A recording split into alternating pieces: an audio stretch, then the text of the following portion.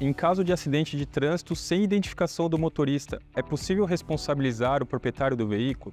O Código de Trânsito Brasileiro impõe ao comprador o dever de transferir o veículo para o seu nome e ao vendedor o dever de comunicar a venda se o comprador não cumprir sua obrigação.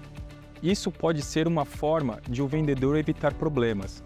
Isso porque a justiça brasileira entende que o proprietário também é responsável pelos danos causados com o veículo registrado em seu nome ainda que ele não seja um motorista.